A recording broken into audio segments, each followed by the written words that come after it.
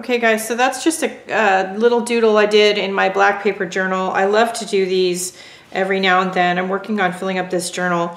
Um, I have certain pens that will write well and show up well on black paper. Not all pens do. If you've tried to doodle on black paper, you know this. One of the best ones out there, of course, are the Jelly Roll pens, the Jelly Roll Moonlight specifically.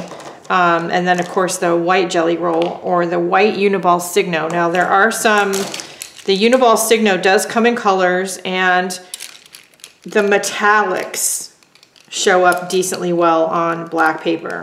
The others, except for the white, don't really. So I have my metallic Uniball Signos here, my white one, all my jelly Rolls. These, of course, are metallic Sharpies. They do show up pretty well. These are from Daiso. These are metallic markers from Daiso, and these are metallic markers from Wish, I think. Um, so I would say to experiment with the markers that you have and see which ones are going to show up on black paper. Try your metallic ones. Paint pens will work. I do have a black journal drawing kit here. It's in a, this is a makeup bag. And I have actually a spare black journal in here. Um, I have some black markers and pens to cover up boo-boos. If you were watching, you saw me, I made a boo-boo like over here somewhere. Um, I got a red marker on my yeah, hand and yeah. Anyway, so the black ones will touch up any mistakes.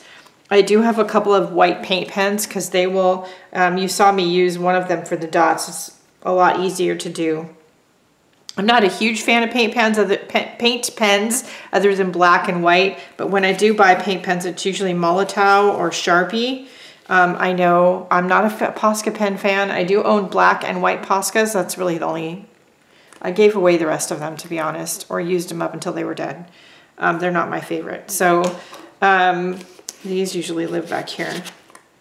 Um, so these work really well, and I really only use these on my black journal. So they live in here, and then I can, whether I'm upstairs or down, if I want to work in the black journal, I can just grab this whole bag, and everything that I need is in here. So there you go. I'll link the markers that I can that are still available available in the description below for you all. And um, this is just black drawing paper. Any black paper will work. Um, there's lots of black paper journals out there now. You do probably want a couple pieces of black scrap paper, which is what these are. These are just cardstock to test pens on as you're drawing um, and make sure that's the color that you're going to want. If you know of any really great black uh, pens that work well on black paper. We would all love to know about them. So please share them in your comments below um, or message me and I'll do a video about them. But yes, I would love to hear about them. But I know these ones all work. All right, that's it for today. Don't forget to like, share, and subscribe. And above all, go out and have a great day and do something nice for yourself if you deserve it. I would appreciate support, support for the free content on this channel and YouTube. You can find all the different places. You can follow me on social media. Okay, that's it for today. Oops. Don't forget to um, check out my Linktree list of links, all the different places you can follow me on social media and the places where you can support the free content here on YouTube and over in Facebook.